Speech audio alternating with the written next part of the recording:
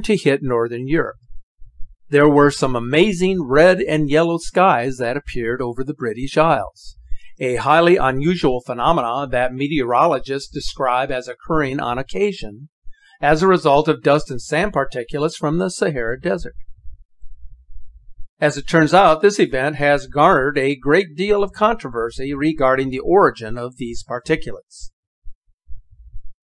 Whether the Saharan phenomenon has happened in previous years can be left for debate, but there may actually be some validity to the story of dust particles falling from the sky, as these images are showing. This satellite image from March of 2014 is showing sand particulates, seen in pink, being carried by the winds over Western Europe where they fell as fine particles onto waiting vehicles. So although the skies over the British Isles may have appeared apocalyptic on October 16th, there may actually be a plausible explanation for this anomaly. It can be argued that the winds of Hurricane Ophelia may have caused the red sky phenomenon. But there is something quite amazing uh, that makes the average viewer pause whenever an eerie event such as this occurs. On the same day that the sky turned a shade of red and yellow in London, this footage of two suns was recorded. One can argue that this is only an optical illusion, and yet the movement of the object in and out of the clouds makes this observation much more credible.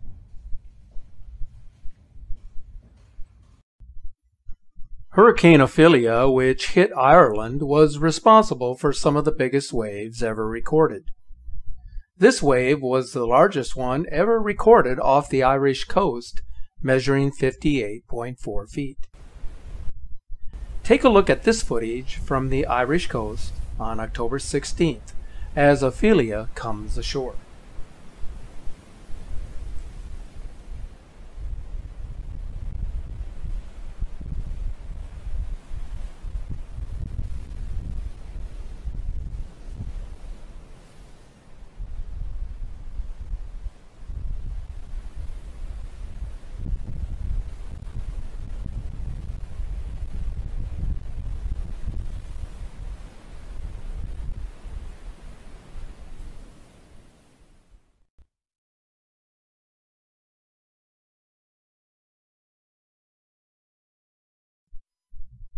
In the western Pacific, Typhoon Lan came ashore in Japan on October 23rd. This storm was so enormous that its cloud field engulfed the entire Japanese island. The hurricane unleashed 20 inches of rain in many areas, causing numerous landslides and forcing the evacuation of hundreds of thousands of residents across Japan.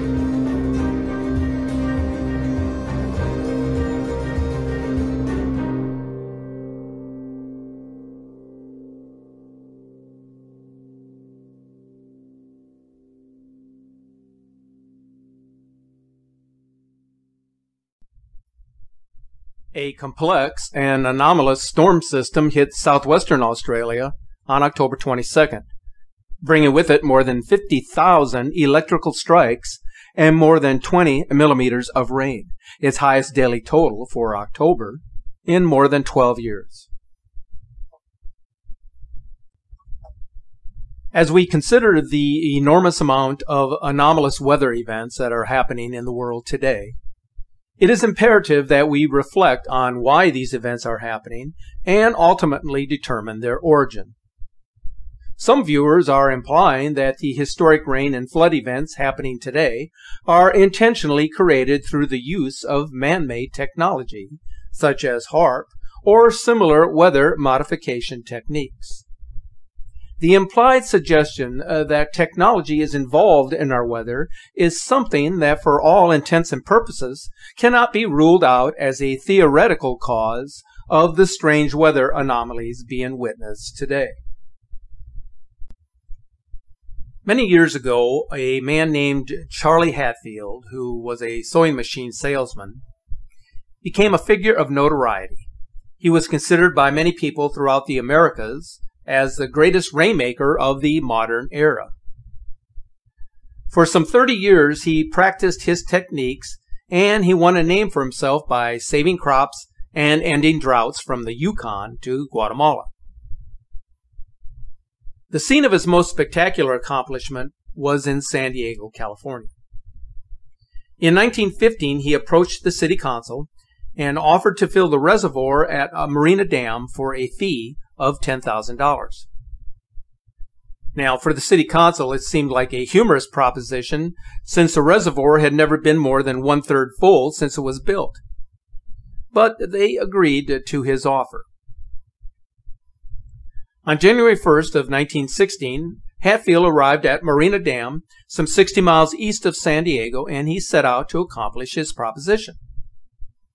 He began by erecting a wooden tower about 20 feet high. On top of that tower, he placed very large galvanizing trays containing a special moisturizing mixture. He then, through a process of chemical evaporation, which process he kept closely guarded, began his technique of producing rain. On January 5th, four days after arriving at the dam, there was already rain falling at the reservoir. By January 10th, heavy torrential rains were falling throughout the county.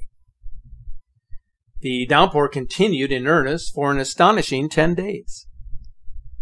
As torrents of rain rushed through the streets of, of, San Diego, transportation was suspended, telephone and telegraph lines were cut off, and rivers overflowed their banks, washing away homes and barns. The rains then subsided and folks began to clean up and repair the damage. But then, shortly thereafter, on January 26, the storms returned.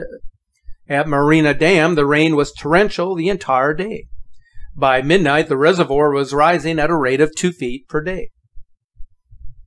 The rain finally subsided when the reservoir level had reached an amazing five inches from the very top of the dam, thus averting a massive disaster. But other areas were not so fortunate. The lower Otay Dam disintegrated, releasing a wall of water 40 feet high, demolishing everything in its path. The result of this disaster was that 50 lives were lost, 200 bridges were destroyed, and miles of railway track were washed away. The surrounding mountains and hills were left scarred for years, and the landscape changed permanently in some locations. For his part, Hatfield believed that he had fulfilled his promise to end the drought and to fill the reservoir. But when he confronted the city council to collect his payment, they refused to pay him. Apparently, Hatfield had not completed a signed legal agreement between the two parties. Therefore, the council declared that the deluge was an act of God and could not honor his proposition unless he provided proof that he was responsible for the torrential rains, which of course he could not do.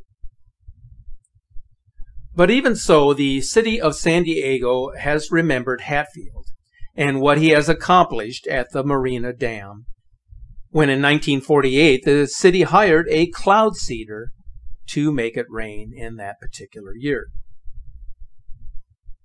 Therefore, as history has shown, it is feasible to manipulate weather events through means of composed chemicals and through a technological process.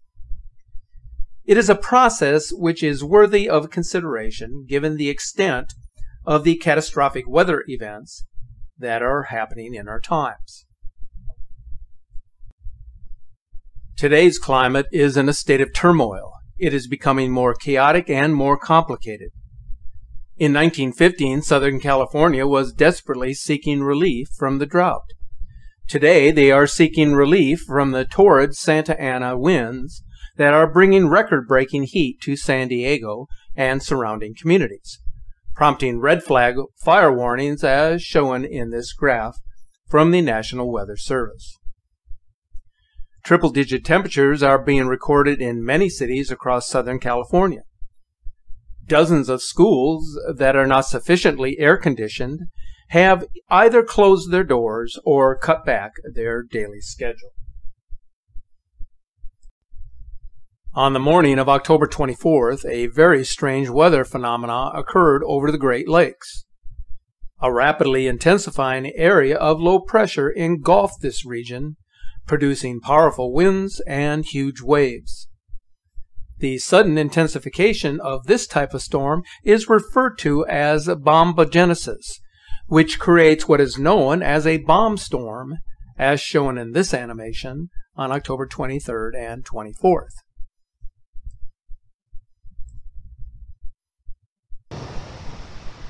In this incredible video from Lake Superior, the waves were so powerful that people actually felt it in the rocks that they stood on.